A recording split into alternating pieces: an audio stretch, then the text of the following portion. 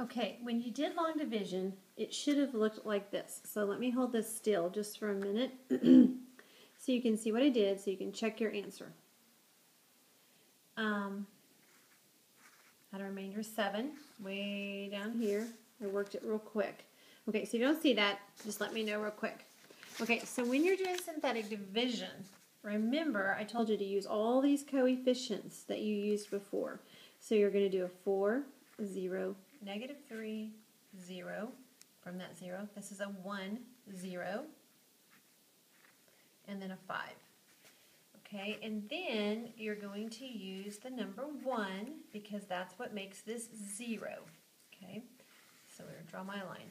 Okay, so you drop it, and then you multiply, and then you add up, add up and down, multiply on the diagonal. I'm assuming you guys have that.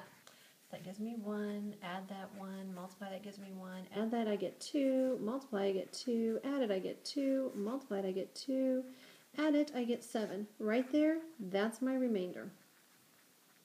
Notice that was my remainder up here.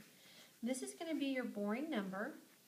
This is your x to the first, x to the second, x to the third, x to the fourth.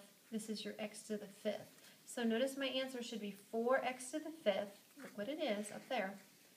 4x to the fourth. There it is.